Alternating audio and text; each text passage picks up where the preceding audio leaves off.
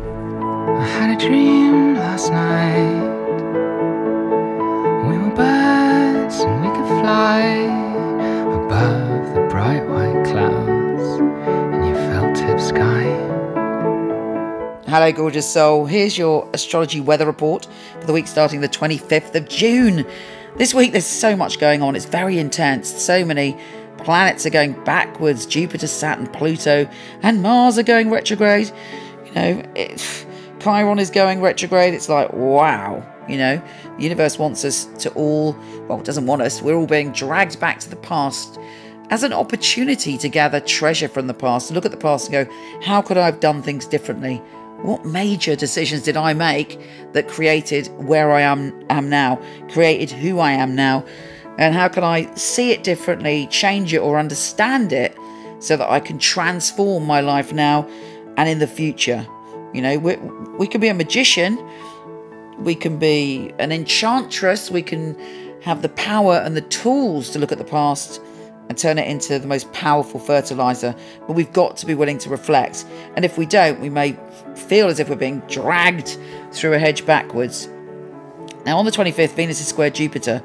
There's a feeling of wanting freedom within our personal relationships. Either we're going to feel it, perhaps if we're in a relationship, the other person's going to feel it, or we'll be drawn to, to a real free spirit Venus is in Leo, so there's a lot of confidence in the air, and Jupiter is in Scorpio.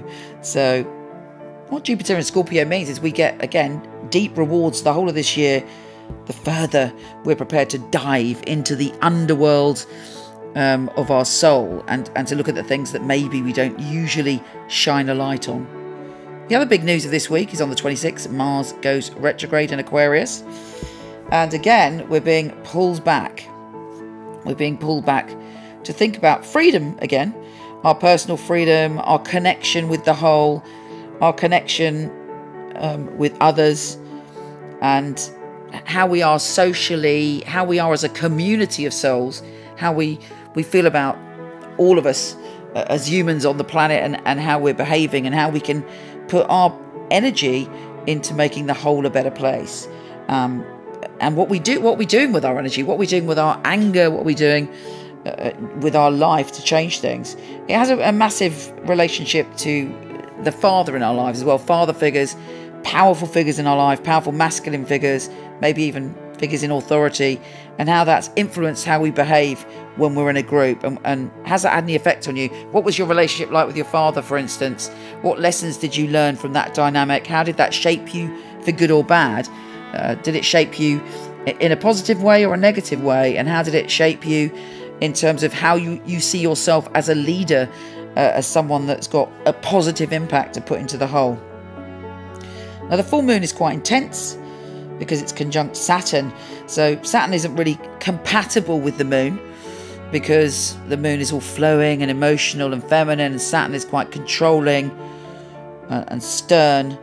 So, there may be a feeling of you looking within your heart and, and kind of maybe feeling guilt from the past, maybe feeling that you being a bit self-critical or, or feeling restricted in some way. Don't go down that negative route if you can help it. Obviously, it's all a process. If you're feeling that, you know, that might be quite useful for you to feel, but come through it. Do it as a process rather than just uh, you know, an, an, experience to make yourself feel bad. Because basically, this moon can be very good in terms of us looking at what we want to commit to in terms of our career, why we've made some of the decisions to do whatever we're doing in the world, you know, to do with our ambition, to do with career, to do with how the world sees us, how we see ourselves in the world in that external sense, rather than, you know, it's our public face. So, how do you feel about your public face and, and your job and all of that stuff? you could get a massive and productive sign from the new moon, a kind of a revelation about how to shift that energy. But, you know, Saturn is quite stern. He likes to give a little hard lesson. So, you know, don't be too hard on yourself. You know, don't, there's no point thinking about the past and, and berating yourself. It's all about now fixing the past, fixing the present, and transforming your life so that you can step into whatever you want to do and be whoever you want to be. Mercury shifting signs, and thank goodness going into a very jolly space. You know, we're all that little bit more confident, that little bit more creative, Mercury is in bold, brazen, and dazzling Leo. Uh, so we're all sprinkled with a little bit of that magic dust. So use that energy. Know that if you've been feeling a bit insecure, you can be confident in what you say. And there's a lot of laughter, jolliness, optimism. It's the opportunity to have very warm, open, and embracing conversations and to open up our heart to love and flirtation. Uh, it's also in, kind of in the soulmate zone, so you may find yourself having a deep and delicious conversation with someone that you gel with. Generally, though, and I will do a specific video on this, we're all being cast back to the past, and and, and this hasn't. It's a very rare thing, and it hasn't happened for a long, long time. This amount of planets going backwards, so it's important to be focused, take it seriously.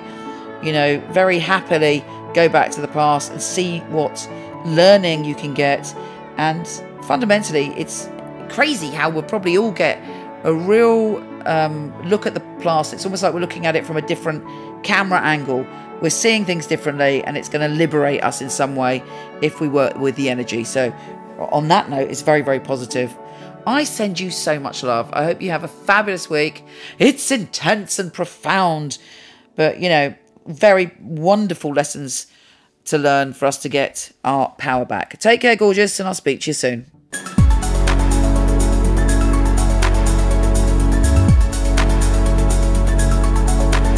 Hello, wonderful one. Thank you so much for listening. It would be fabulous if you liked, subscribed, or shared. It would be really, really helpful. Also, I have a ton of free stuff for you. Horoscope.co.uk for everything astrology, and micheleknight.com for everything psychic and free tarot reading. See you there.